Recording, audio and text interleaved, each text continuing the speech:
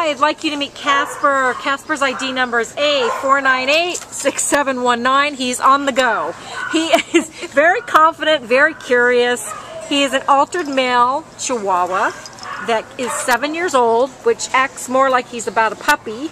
He is owner surrender. His family no longer had time for him, so they brought him in. Um, he is absolutely adorable. You can see the way he's acting that he is, he sees another dog and he wants to play with it. So he's good with small dogs that we've seen.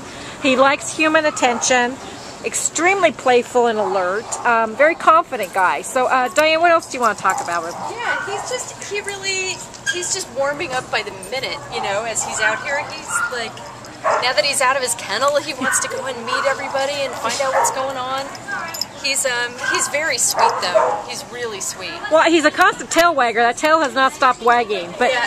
he really wants to get to that other Chihuahua that's outside the tent because Yeah. he wants to play. Yeah. so he really, even though he's seven, he he really has puppy qualities. So uh, please come down to the Baldwin Park Animal Care Center and adopt Casper.